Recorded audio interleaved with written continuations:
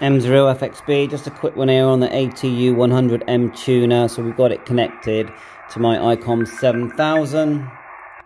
So here we are, it's all connected. We've got the tuner connected, PL259 to the radio, 9 to 1 balun, 20 meter wire, and we're just going to hit the tune button here or hit the PTT and let it do its thing. So M0FXB.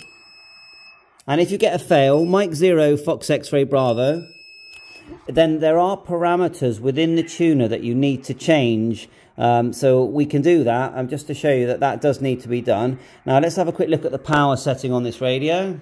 And what we can do, we can hold the button down and it starts to tune. Mike Zero Fox X-Ray Bravo.